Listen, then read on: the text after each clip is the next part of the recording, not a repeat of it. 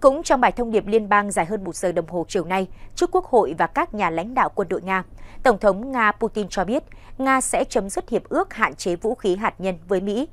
Ông cũng tố cáo Mỹ và phương Tây là bên khởi động cuộc chiến và người Nga phải dùng vũ lực để chấm dứt cuộc chiến. Vào đầu tháng 2 năm nay, có một tuyên bố từ Liên minh Bắc Đại Tây Dương trên thực tế yêu cầu Nga quay trở lại hiệp ước vũ khí hạt nhân, bao gồm cả việc cho phép thanh tra các cơ sở phòng thủ hạt nhân của chúng tôi. Điều này thực sự hết sức phi lý. Mối quan hệ của Nga-Mỹ đã xuống cấp. Trách nhiệm về điều đó hoàn toàn thuộc về phía Mỹ. Chính họ đã bắt đầu xem xét kết quả của Thế chiến thứ hai sau khi Liên Xô sụp đổ Họ bắt đầu xây dựng thế giới theo cách của người Mỹ, chỉ với một ông chủ, một lãnh chúa. Họ muốn giáng cho chúng tôi một thất bại chiến lược, trong khi luồn lách vào các cơ sở hạt nhân chiến lược của chúng tôi. Về vấn đề này, tôi muốn chính thức tuyên bố rằng Nga sẽ ngừng tham gia hiệp ước cắt giảm vũ khí tấn công chiến lược mới New START Tôi xin nhắc lại, Nga không từ bỏ hiệp ước mà chỉ đình chỉ việc tham gia. Trước khi tiếp tục thảo luận về hiệp ước này, chúng ta phải hiểu những quốc gia thuộc Liên minh Bắc Đại Tây Dương như Pháp và Anh mong muốn điều gì và chúng ta sẽ thực hiện chiến lược của họ như thế nào. Trong tình hình hiện tại, Bộ Quốc phòng Nga và Rosatom phải đảm bảo rằng Nga sẵn sàng thử vũ khí hạt nhân. Tất nhiên, chúng tôi sẽ không làm điều đó trước, nhưng nếu Mỹ tiến hành các vụ thử, chúng tôi sẽ làm như vậy. Không ai nên ảo tưởng rằng thế cân bằng chiến lược toàn cầu có thể bị phá vỡ.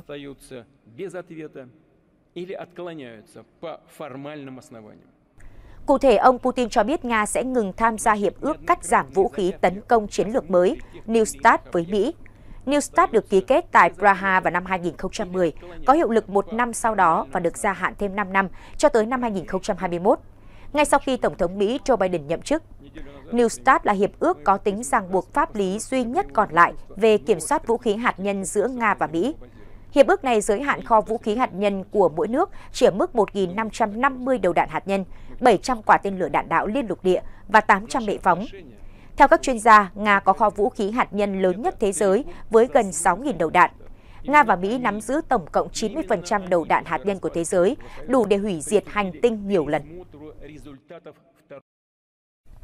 NATO kêu gọi Nga đừng chấm dứt hiệp ước hạt nhân với Mỹ. Ngay sau khi Tổng thống Nga Vladimir Putin công bố quyết định về việc Nga chấm dứt hiệp ước hạt nhân với Mỹ, Tổng thư ký NATO Jens Stoltenberg đã lên tiếng kêu gọi Moscow suy nghĩ lại. Thông tin về việc Nga chấm dứt hiệp ước hạt nhân với Mỹ được Tổng thống Putin đưa ra ngày 21 tháng 2 khi ông có bài phát biểu trước Quốc hội và các lãnh đạo quân đội Nga. Đây cũng là thời gian mà các nhà ngoại giao châu Âu lập nhóm ở Bruxelles, Bỉ về tình hình Ukraine. NATO mong Nga nghĩ lại về việc chấm dứt hiệp ước hạt nhân với Mỹ.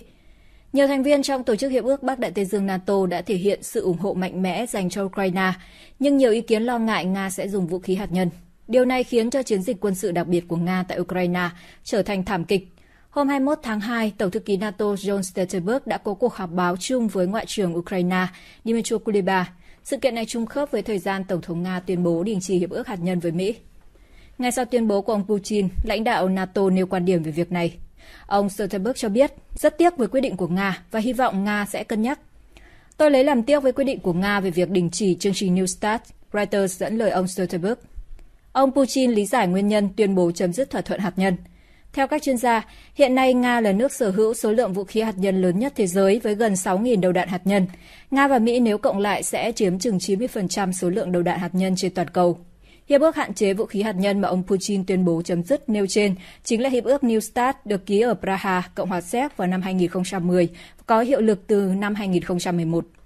New START hạn chế triển khai vũ khí hạt nhân của Nga và Mỹ. Đây được xem như thỏa thuận giúp giảm áp lực chạy đua vũ trang trong lĩnh vực hạt nhân. Năm 2021, Tổng thống Putin và Tổng thống Mỹ Joe Biden đã nhất trí gia hạn thỏa thuận trên thêm 5 năm, tới năm 2026.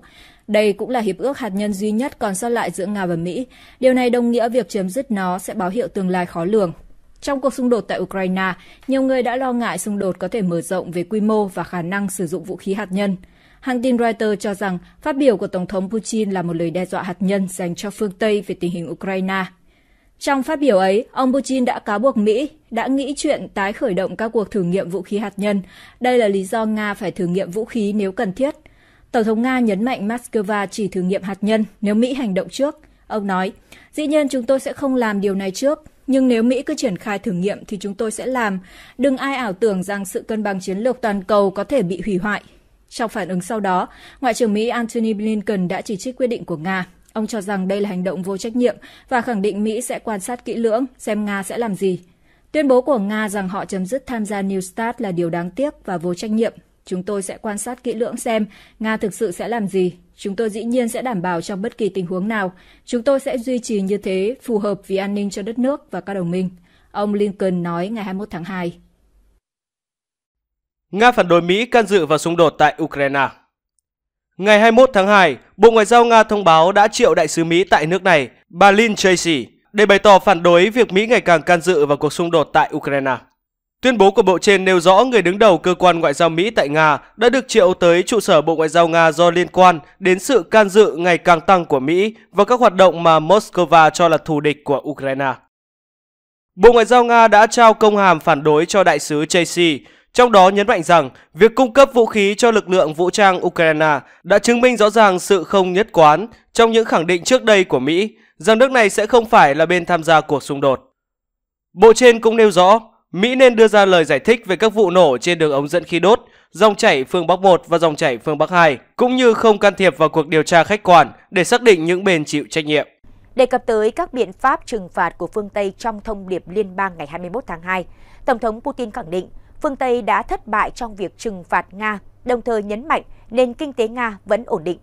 Tuy GDP có sụt giảm nhưng thị trường nội địa đang tăng trưởng tốt và Moscow có đủ nguồn lực tài chính cần thiết để đảm bảo an ninh và phát triển. Như tôi đã nói, phương Tây đã quay lưng lại với Nga không chỉ về mặt quân sự và thông tin mà còn về kinh tế, nhưng họ chưa và cũng sẽ không bao giờ đạt được mục tiêu của mình, dù bằng bất cứ giá nào.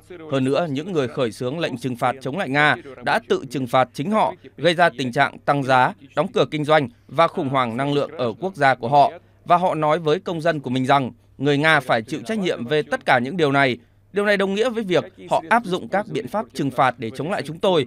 Họ đã cố gắng cắt đứt quan hệ kinh tế với các công ty Nga, cô lập hệ thống tài chính Nga, tước đi quyền tiếp cận thị trường xuất khẩu của chúng tôi để đánh vào doanh thu của Nga. Ngoài ra họ còn có hành vi trộm cắp dự trữ ngoại tệ của chúng tôi, cố gắng làm suy yếu đồng rúp và kích động lạm phát. Tổng thống Putin khẳng định nền kinh tế Nga thay vì bị sụp đổ thì đang được tái cấu trúc và Nga vẫn làm ăn với nhiều khu vực trên thế giới. Theo ông, Moscow đã duy trì được sự ổn định của nền kinh tế, ngăn chặn thâm hụt và sự sụp đổ của hệ thống tài chính. Tổng thống Nga cáo buộc phương Tây đánh cắp các khoản dự trữ tiền tệ của Nga và khẳng định kinh tế Nga đã và đang vượt qua tất cả những rủi ro này. Để hỗ trợ các doanh nghiệp trong nước, chính phủ Nga đã phân bổ 1.000 tỷ rúp, hơn 13 tỷ đô la Mỹ để thúc đẩy hoạt động kinh doanh. Theo Tổng thống Nga, lạm phát của nước này sẽ đạt mức 4% vào quý 2 năm 2023. Đây là một mức thấp so với nhiều quốc gia EU. Bên cạnh đó, Moscow sẽ tiếp tục phát triển một hệ thống thanh toán quốc tế độc lập với đồng đô la Mỹ và các loại tiền tệ khác của phương Tây. Khép lại thông điệp liên bang, Tổng thống Putin khẳng định việc đánh bại Nga bằng vũ lực là không thể, nhưng phương Tây sẽ cố gắng gây ra một thất bại chiến lược đối với Moscow.